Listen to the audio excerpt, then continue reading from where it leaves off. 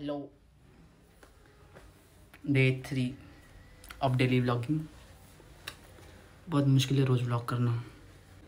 आज का दिन तो बहुत बकवास था, बहुत बकवास था आज का दिन।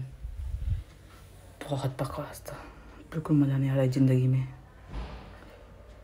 पर कल गुरु नानक जयंती है। अच्छा दिन है कल मेरा भाई सोया हुआ है। बाय हैप्पी गुरु नानक जयंती